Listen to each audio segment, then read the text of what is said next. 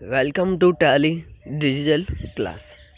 फिर से एक और बार मैं आपका स्वागत करता हूँ अपने इस चैनल टैली डिजिटल क्लास में।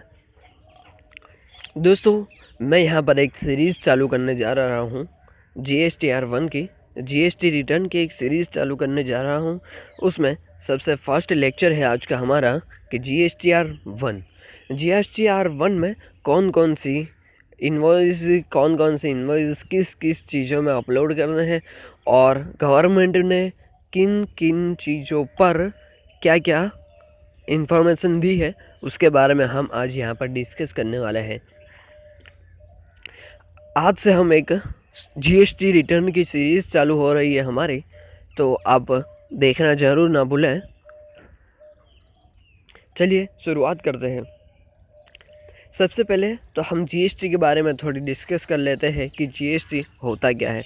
जीएसटी मतलब उसका फुल फॉर्म होता है गुड्स एंड सर्विस टैक्स इसके टाइप्स होते हैं, तीन टाइप्स होते हैं जीएसटी जी इसके तीन टाइप्स होते हैं C G S T S G S T और आई जी एस टी ये कुन अगर इंट्रा स्टेट और इंटर स्टेट और इंटर स्टेट के ट्रांजेक्शन पर T D G S T applicable हो जाता है। अगर इंडिया के हम कहीं भी स्टेट में सिर्फ़ जम्मू कश्मीर के अलावा किसी भी स्टेट में हम देखेंगे तो सभी स्टेट में जीएसटी एप्लीकेबल हो गया है।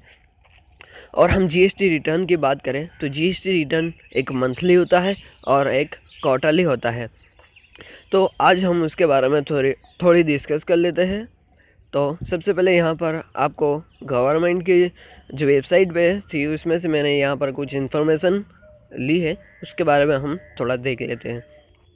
G S T R one involve detail four A four B four C six B six C B to B invoice तो यहाँ पर दिया गया है to added an invoice for taxable outward supply to a register person मतलब अगर हम हम कोई पार्टी को सेल करते हैं।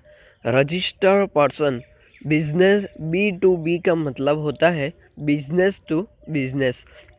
मतलब हम, हमने, हम तो जीएसटी में रजिस्टर है और जिसको हम सेल करते हैं, वो भी अगर जीएसटी में ऐप रजिस्टर है तो वो हुआ B to B B to B supplier. तो उसकी डिटेल हमें यहाँ पर भरनी होती है। Four A, four B, four C.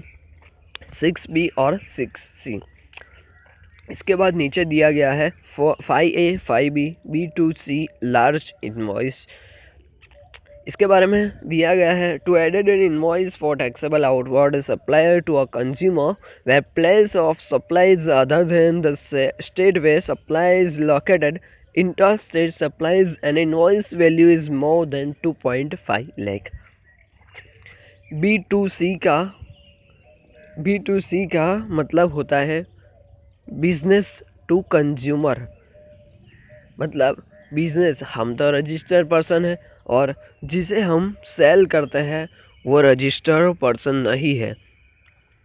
तो उसकी डिटेल हमें यहाँ पर भरनी है four A four B B to C. कितनी, कब हमें यह भरना है? तो यहाँ पर दिया हुआ है इंटर स्टेट मतलब हम समझ लो कि हम महाराष्ट्र से हैं और हम के सेल बेंगलोर में कर रहे हैं तो ये हमारा हुआ इंटर स्टेट तो इंटर स्टेट और सप्लाईज़ की वैल्यू 2.5 लाख से ज़्यादा है, तब हमें फोर ए, फाइव बी में भरना है। पन कब? B to C, large. ठीक है? इसके बाद हमें यहाँ पर नीचे दिया हुआ है, nine B credit notes register. Person इस, यहाँ पर दिया हुआ है to added detail for credit और debit note issue the registered recipient credit note और डेबिट नोट किसी भी हमने रजिस्टर पर्सन से अगर माल हमने ख़रीदा था, उसको हम रिटर्न कर देते हैं तो वो हमारी हो जाती है डेबिट नोट उसकी डिटेल हमें नाइन बी में भरनी होती है। इसी तरह किसी रजिस्टर पर्सन से हमने माल पर माल सेल किया था, उसने हमें माल रिटर्न कर दिया तो उसकी डिटेल हमें नाइन बी रजिस्टर में भरनी होती है। इसके बाद नीचे दिया हुआ है nine B credit debit note unregistered.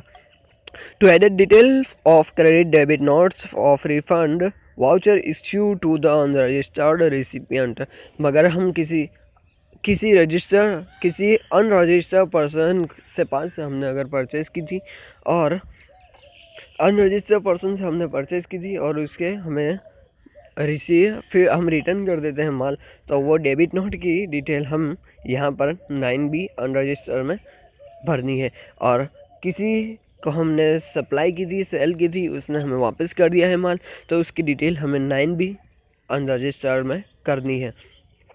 इसके बाद हमें यहाँ पर नीचे दिया हुआ है six A export invoice to add in an invoice of our supplies export अगर हमने एक्सपोर्ट का सप्लाई की है मतलब इंडिया से कहीं बाहर हमने एक्सपोर्ट किया है माल तो उसकी डिटेल हमें यहाँ पर भरनी है।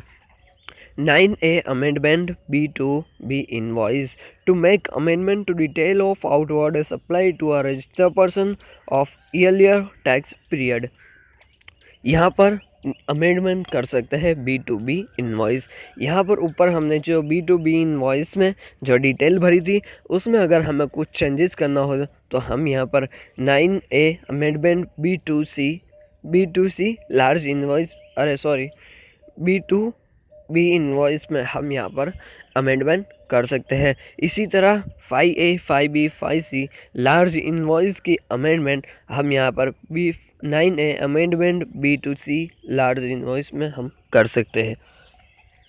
अगर हम एक्सपोर्ट, ये हम यहाँ, हमने जो एक्सपोर्ट की थी, उसकी डिटेल में अगर हमें कुछ चेंजेस करना चाहते हैं तो वो हम यहाँ पर nine A amendment export invoice में कर सकते हैं। इसके बाद है nine C amendment credit debit note registered person nine C में रजिस्टर्ड पर्सन से हमने जो क्रेडिट डेबिट नॉट इश्यू की थी, उसकी यहाँ पर हम डिटेल भर सकते हैं। इसी तरह nine C amendment credit debit note unregistered person ये हमने यहाँ ऊपर अनरजिस्टर्ड पर्सन से क्रेडिट डेबिट नॉट इश्यू की थी, उसकी डिटेल हम यहाँ पर nine C amendment credit, debit note unregistered में जाकर हम यहाँ से कुछ चेंजेस करना चाहते हैं तो हम यहाँ से चेंजेस कर सकते हैं। आज के इस बेसिक लेक्चर में हमने डिस्कस की कि four A four B four C क्या होता है, उसमें क्या क्या डिटेल भरनी होती है। आने वाले समय में हम ये देखेंगे कि G S T R one कैसे भरते हैं G S T R credit note कैसे भरते हैं। उसके बारे में हम यहाँ पर आने वाले समय में डिस्कस करने वाले हैं। तो जल्दी से हमारे चैनल को सब्सक्राइब कर दें और बेल आइकन को दबाकर अपने दोस्तों को भी शेयर कर दें। चलिए दोस्तों, मिलते हैं अगली वीडियो में।